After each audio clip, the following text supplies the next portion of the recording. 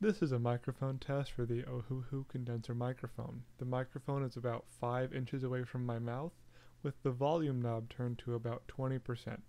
The echo knob is turned all the way down, and I'm speaking at about a normal conversational level, maybe a little bit softer than that. So this should give you a pretty good idea of how this microphone would act in a normal everyday setting. I hope it's been very helpful to you, and thank you for listening.